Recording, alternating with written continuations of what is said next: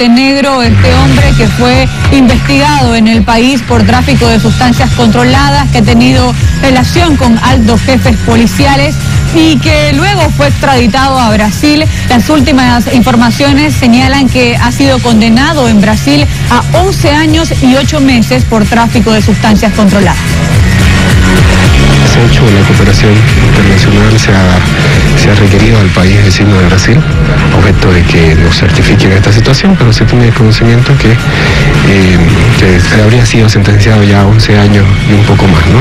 Pedro Montenegro, investigado por el delito de narcotráfico y vinculado a jefes policiales y a altas autoridades del gobierno del expresidente Morales, fue extraditado el pasado 30 de noviembre del año 2019.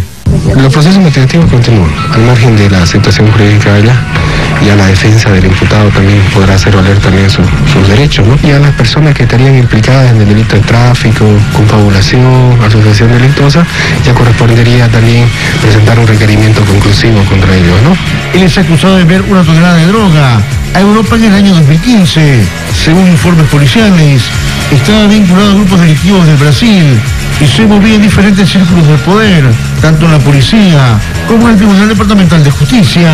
Se relacionan por el grado de parentesco, el grado de, afinidad que tenían con el señor, cómo se movían en grandes círculos eh, con el señor Montenegro, ¿no? ya que Montenegro se, acá en, Santa Cruz se topaba o estaba con coroneles, estaba con, siendo que tenía una orden de búsqueda ¿no? a nivel internacional.